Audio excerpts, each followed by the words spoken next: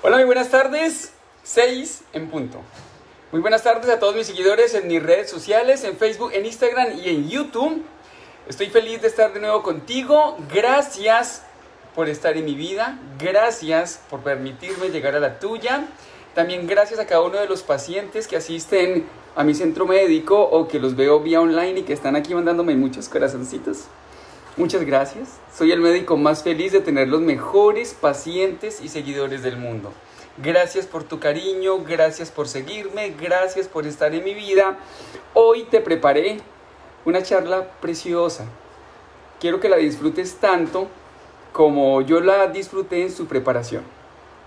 Hoy vamos a hablar de la tiroides, pero específicamente vamos a hablar sobre qué comer cuando sufro de tiroides.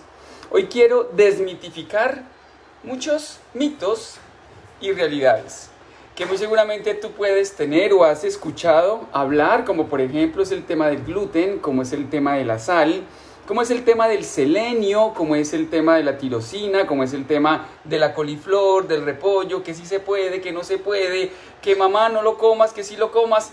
¿Esto realmente tiene alguna evidencia científica?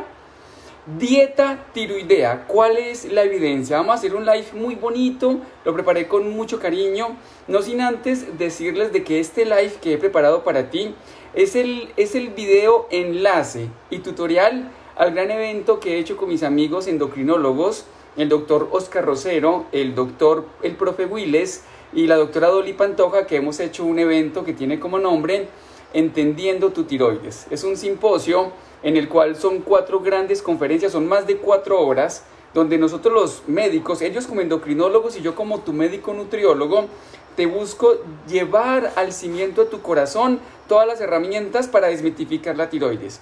Si tú sufres de la tiroides, si tú conoces a alguien que sufre de la tiroides, si tú quieres comprender mejor cómo es que funciona esta glándula, por favor haz el simposio que tenemos ya listo entendiendo tu tiroides con nuestros amigos endocrinólogos, que yo sé que te van a encantar, ¿de acuerdo? Este live va a ser una antesala a todo lo que tú vas a aprender desde el punto de vista de nutrición y la tiroides. Así que la tareita que te pongo es por favor compártelo, llévalo a Instagram, llévalo a Facebook, llévalo a los grupos de WhatsApp, compártelo en YouTube porque también lo vamos a llevar a YouTube porque yo sé que muchas personas se van a beneficiar de este live. Imagínate, como para ir entrando en estadísticas, que la enfermedad endocrina más común es la diabetes. Hoy por hoy, ya a los médicos no nos sorprende, no nos sorprende encontrar diabetes en edades tempranas.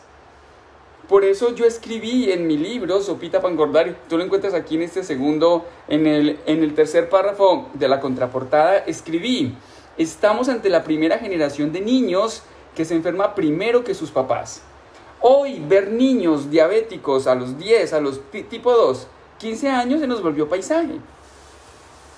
Y la segunda enfermedad endocrina más frecuente es la enfermedad de tipo hipotiroidismo.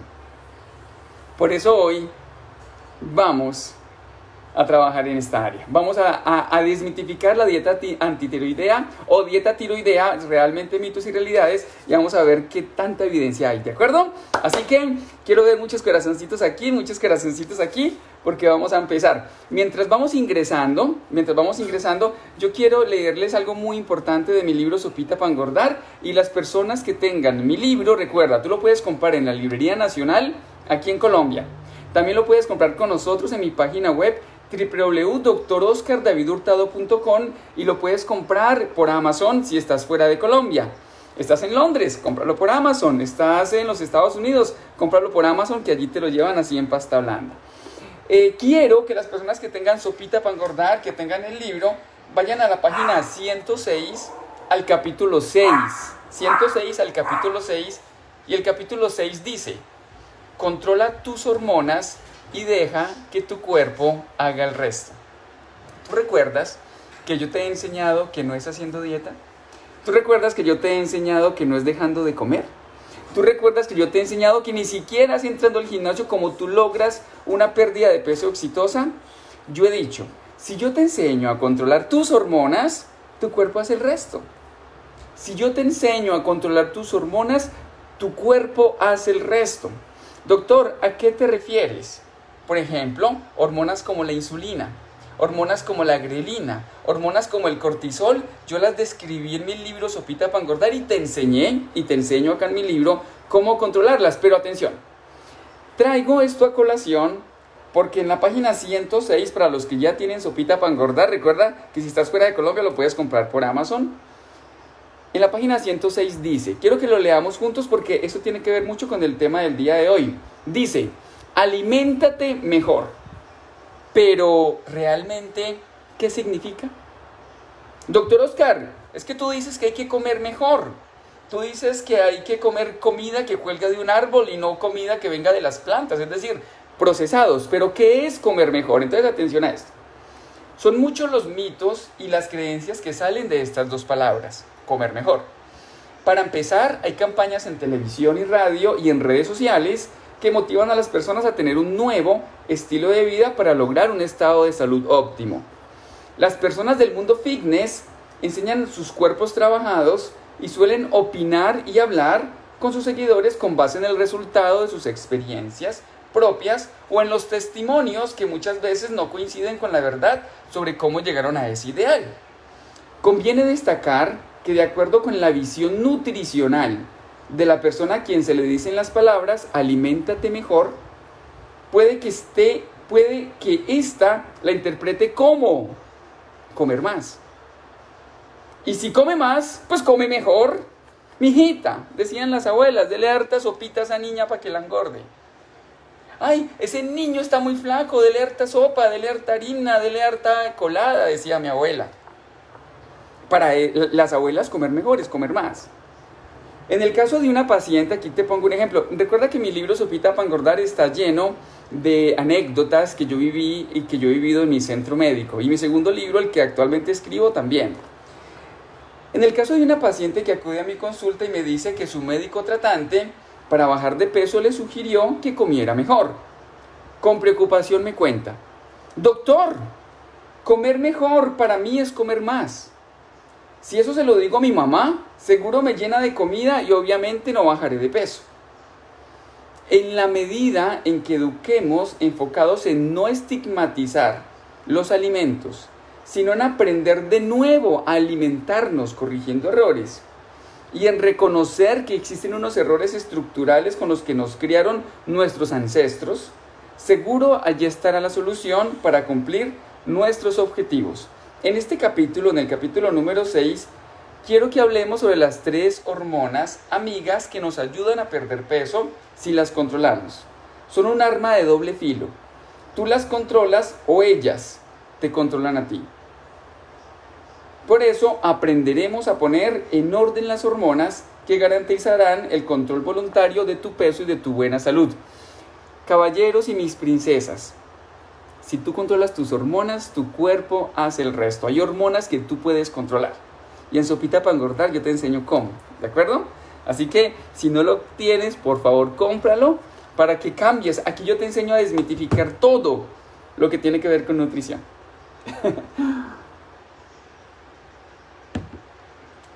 Tengo los mejores seguidores del mundo.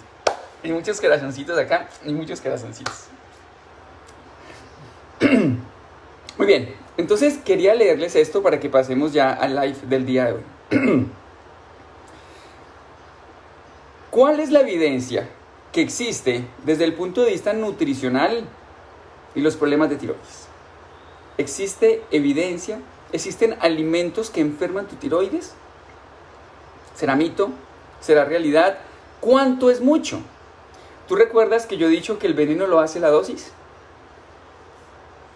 ¿Cuáles son los síntomas que me llevan a mí a pensar que yo pueda sufrir de la tiroides? Estos son varios temas que nosotros en el evento de Come Conciencia tocamos con mis amigos endocrinólogos. Por eso yo quiero que tú hagas ese simposio. Si tú sufres de la tiroides o conoces a alguien que sufre de la tiroides, no vaciles. Ve a nuestros perfiles en Instagram, le das clic y compra el simposio que yo sé que te va a cambiar la visión de la enfermedad. ¿Cómo puedo mejorar los síntomas del hipotiroidismo haciendo de mi alimento mi aliado? Primera pregunta que te voy a resolver el día de hoy. ¿Qué alimentos son malos o dañan mi tiroides? ¿Existen? ¿Mi tiroides puede mejorar si tomo suplementos? Alimentos que favorecen la correcta nutrición de la tiroides y cómo perder peso si sufro de la tiroides. Entonces, entrando en materia y viendo muchos corazoncitos, te quiero decir, ¿la tiroides puede alterar su función? Sí, falta alguno de los nutrientes que voy a exponer a continuación. También si hay exceso de esos nutrientes, porque el veneno lo hace la dosis. La tiroides también puede afectar su función si hay una deficiente alimentación, una mala alimentación. También por exposición a ciertas toxinas, por metales pesados, agroquímicos, puede influir en la salud tiroidea. Tener en cuenta que cuando nosotros los médicos te mandamos a hacer el examen de la tiroides, que se llama la TSH, esa es la hormona que se desprende desde tu cerebro y va a la glándula para que la glándula libere lo que llamamos T4 y T3 libre. Imagínate que para que la glándula produzca correctamente, la glándula tiroidea produzca correctamente nutrientes. Entre esos nutrientes se necesita el yodo y entre esos nutrientes también se necesita la L-tirosina. Para que a nivel hepático la T4 se convierta en T3 activa, en la hormona activa, se necesitan otros minerales, como es el caso, por ejemplo, del cobre, del selenio, de la vitamina C, de la vitamina E, del mismo zinc, de la vitamina A. Entonces mira que para poder de que funcione bien la, tiroides o funcione bien las hormonas de la tiroides se necesitan nutrientes. Hoy por hoy la población se está comiendo más no se está nutriendo. Y mucho de estas faltas de nutrientes está generando y está desencadenando un sinnúmero de enfermedades, entre ellos problemas de la tiroides. Atención, vamos a hablar de uno de esos minerales supremamente importantes que es el yodo. Colombia es un país libre de déficit de este mineral. ¿Por qué? Porque a la sal se le comenzó a agregar el yodo. Entonces las personas comenzaron a consumir su agua con sal veneno mortal, es decir, las sopitas, comenzaron a consumir sal, no solamente en las sopas, sino en el arroz, también consumieron eh, sal en los embutidos, en los alimentos procesados. Y entonces aquí viene un detalle. El veneno lo hace la dosis. Imagínate esto. La dosis, el Instituto de Medicina de las Academias Nacionales recomienda que los adultos deben ingerir 150 microgramos de yodo al día y un niño entre los 9 y los 13 años 120 años 90 microgramos. La pregunta es, atención, recuerda el dato, 150 microgramos en el adulto, 150, apréndete eso, pero atención, ¿cuántos gramos, o mejor, cuántos microgramos tiene un gramo de sal? Doctor, doctor Oscar, un gramo de sal es como decir el pulpejo de tu dedo. Cuando tú coges tu salero y coges una puntica, una cucharadita de sal, y si eso mide un gramo, tú allí estás consumiendo 19 microgramos de yodo. Y yo he dicho que la dosis del adulto son 150. La pregunta es, ¿cuántos gramos de sal consume una persona en Colombia? Oye, que esa es una regla de tres. Si un gramo tiene 19, la pregunta es, doctor Oscar David, ¿cuántos gramos normalmente yo consumo? Entre 13 y 18 gramos de sal. Eso quiere decir que tú estás consumiendo en el día entre 190 y 250 microgramos de yodo. Y la dosis son 150. Y estoy hablando de dosis bajitas. Estoy hablando de que tú le echaste sal al arroz. Estoy hablando de que tú le echaste sal a, las papitas. Eh, es decir, de un colombiano que come poca sal, está consumiendo entre unos 13 y 18 gramos de sal. Y de, yodo, que está inmiscuida dentro de la sal, entre 190 y 250. El veneno lo hace la dosis el veneno lo hace la dosis. Es por eso de que tú te puedes enfermar de la tiroides por exceso de sal. Por exceso. Ay, doctor, ¿y yo consumo exceso? Por supuesto. así consumas poco. Doctor, ¿cuánto debería consumir de sodio en el día? 5 gramos. Deberíamos consumir 5 gramos, es decir, menos de una cucharadita de sal en el día. Y en Colombia estamos consumiendo más mal contados 3 cucharadas pues soperas, que más o menos pesan 5 gramos. Entonces esa es la situación. Estamos consumiendo muchos, muchos, mucha sal y en esa sal está inmiscuido el yodo. Y tanto yodo funde la tiroides porque el veneno lo hace la dosis. Entonces, primer punto, mis princesas y caballeros, ¿conoces a alguien que sufre de la tiroides? ¿Tú sufres de la tiroides? Ay, es que yo no bajo de peso porque sufro de la tiroides. Ay, es que por más que me tomo la pasta de la tiroides no tengo el control de la enfermedad. Comienza a bajarle la sal al consumo de sal. Consume tus alimentos más insípidos. Recuerda, agua con sal, veneno mortal. Las sopas. Uno de los alimentos que más influyen en la salud tiroidea es el, son las sopas, porque todas las sopas y las cremas de verduras nos encantan con sal.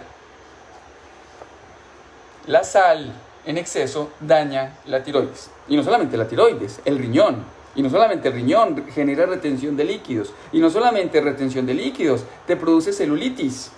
Uno de los aditivos que más produce celulitis es el exceso de sodio. El exceso de sodio genera exceso de yodo y el exceso de yodo puede hacer que tu tiroides se apague. Puede producir exceso de hormona tiroidea. También hay evidencia de que el exceso crónico de yodo puede inducir tiroiditis autoinmune. Primer mensaje, sufres de la tiroides, disminuye el consumo de sodio. Segundo mensaje, no tengo el control de la enfermedad de la tiroides, disminuye el consumo de sodio. Tercer mensaje, por más de que como bien, hago ejercicio, no logro ni el control ni bajar de peso, disminuye el consumo de sodio.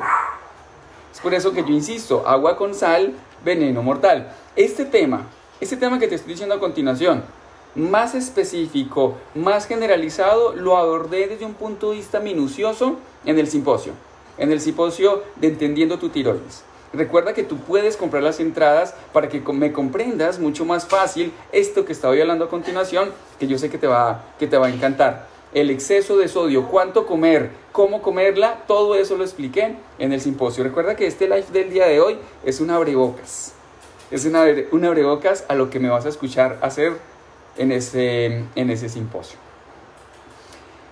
Hay unos alimentos, hay unos alimentos que se han catalogado como alimentos bociógenos, es decir, alimentos que disminuyen la cantidad de yodo disponible para la tiroides, que inhiben cualquiera de los otros nutrientes para la producción de hormona tiroidea. Entre ellos están la soya y las verduras crucíferas. Cambiando de tema, ¿no? Cambiando pues ya entrando un poquito más a alimentos. Doctor Oscar, usted está diciendo que la soya, el brócoli, el repollo, las coles de Bruselas, la col rizada, el rábano, los nabos, la coliflor, las hojas de berza, el, el bok choy, puede generar problemas de tiroides. No, no es que lo esté diciendo, sino es que la evidencia dice que el veneno lo hace la dosis. ¿Cuánto comer? Recuerda que en el simposio de Entendiendo tu tiroides hablo de las dosis de cuánto comer. Pero sí te quiero decir algo. Es un mito que estos alimentos en dosis correctas dañan tu tiroides. El veneno lo hace la dosis. Estos alimentos son ricos en unas sustancias que llaman los glucosinalatos. Y dependiendo de la cantidad, puede generar un papel sobre la, la falta de nutrientes en la tiroides y esto desempeñar en los síntomas o en la enfermedad tiroidea. Pero todo depende del exceso. ¿Qué tanto es mucho?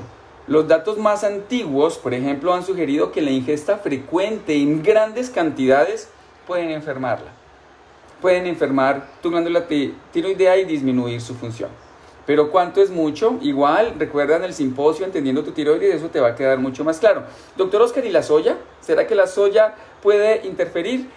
La soya como, o productos a base de soya como la bebida de soya, el tofu, la salsa de soya, el tempeh, el miso, pueden generar problemas de la tiroides. pues también todo depende, ¿no? Todo depende del exceso. Recordar de que la soya es muy rica en unas moléculas que se llaman las isoflavonas.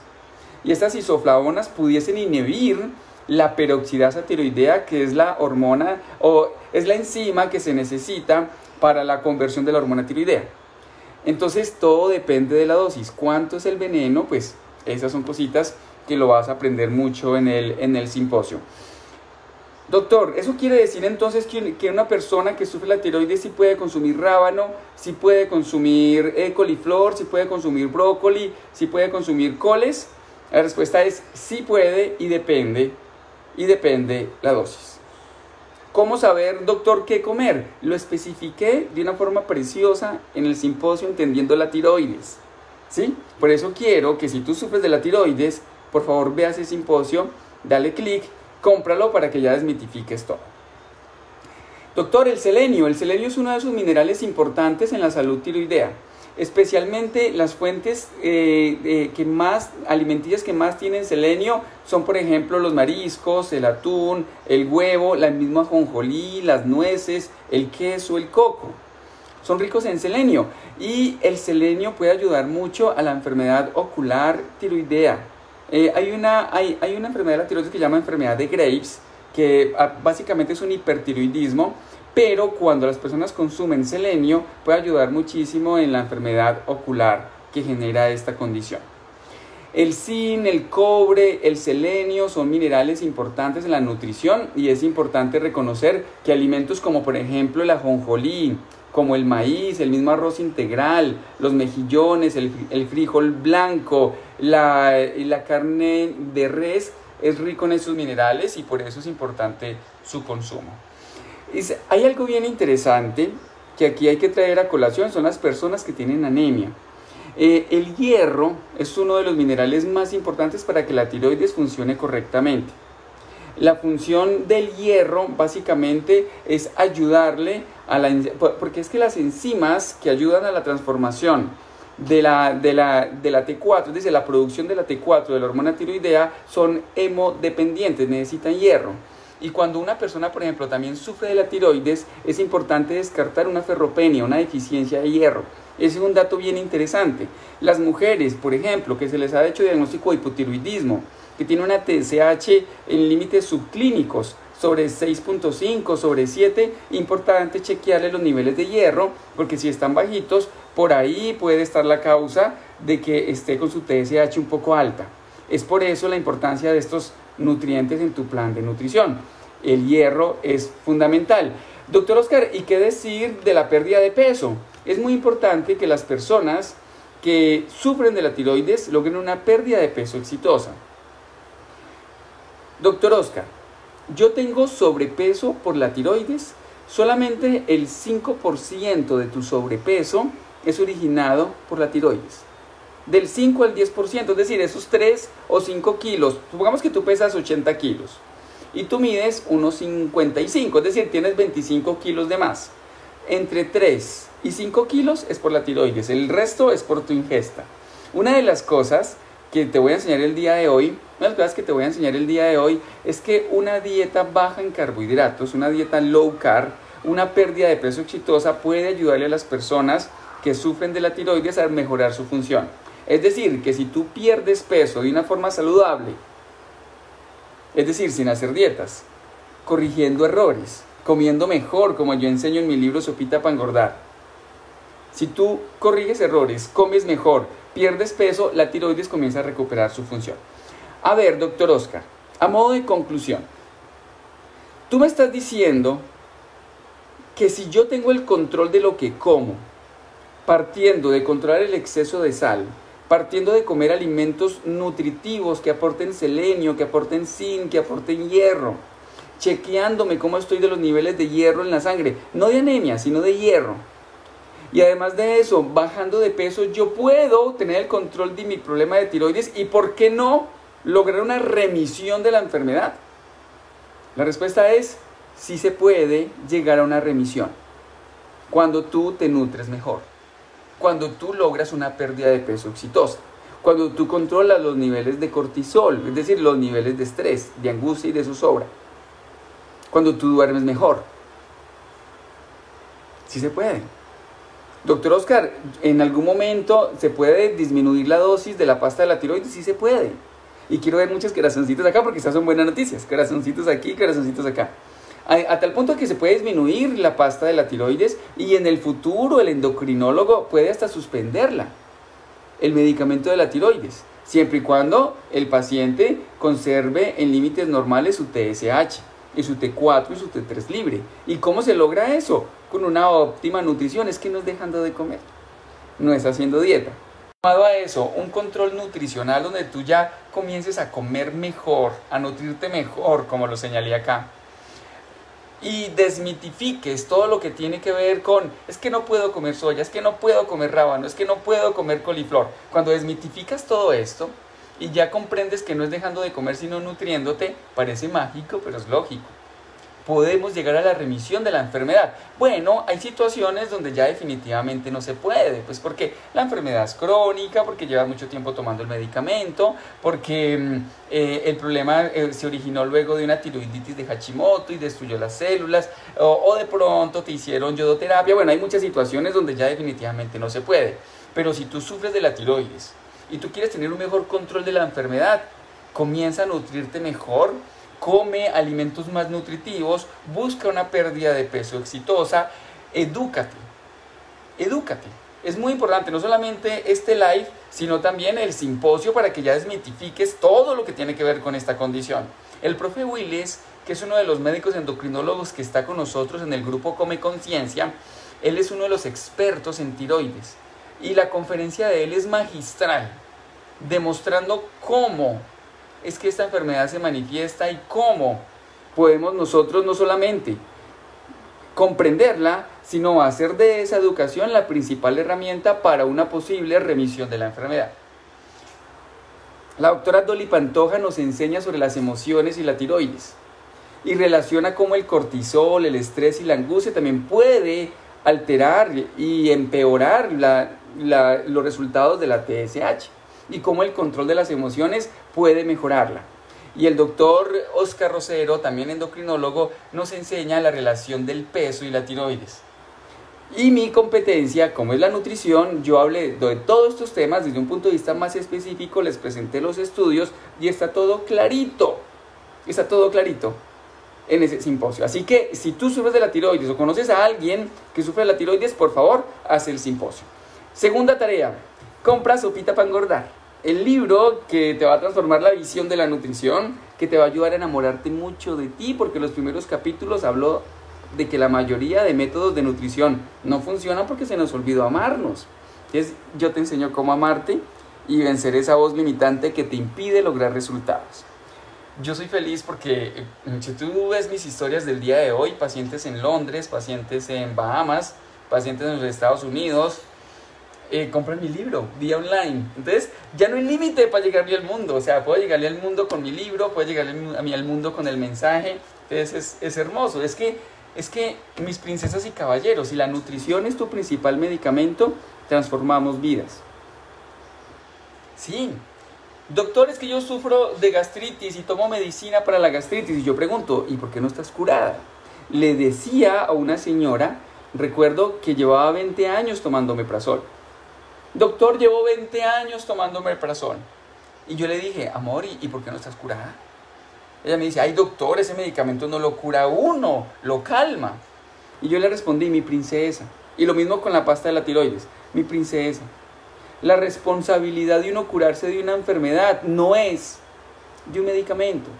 Curarse, remitir la enfermedad, es de los cambios en el estilo de vida y en tu nutrición para que te cures.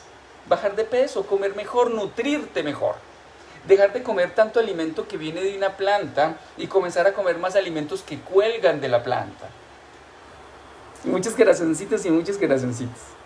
Doctor, ¿alimentos que cuelgan de una planta? Sí, claro. O sea, comida real, como dice mi, mi profe Rosero. De eso los que nos tenemos que enamorar, de la comida real.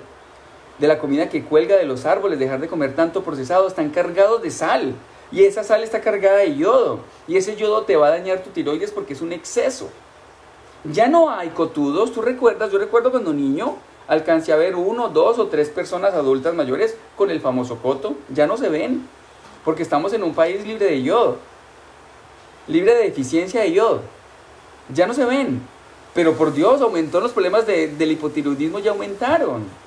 Y a edades tempranas, estamos ante las primeras generaciones de niños y personas jóvenes que se enferman primero que sus padres. Niños ya a los 20 años, adolescentes, con hipotiroidismo.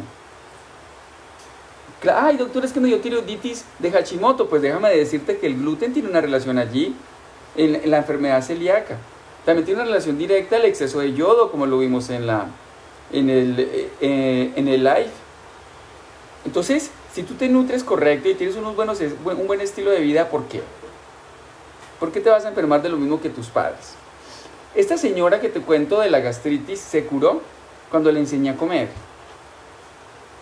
Y no solamente le enseñé a comer, sino que también le enseñé, mi princesa, cuando uno no llora por los ojos, llora por el estómago y el colon. Le enseñé a controlar sus emociones. Y se curó. Yo soy de los médicos que pienso que cuando yo quiero buscar la curación, yo necesito cambiar.